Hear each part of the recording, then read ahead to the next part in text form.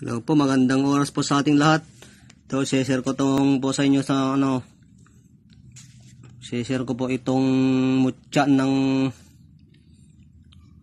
kamansi. Yan, mutya ng kamansi po yan, oh.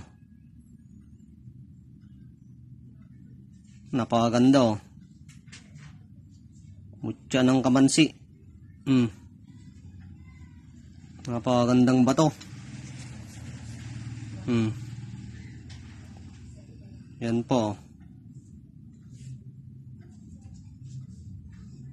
Mutya ng kamansi, oh. Kaya dalawa po yan, oh. Hmm.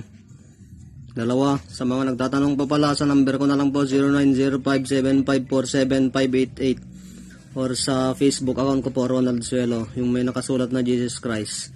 Maraming salamat po. God bless you all po.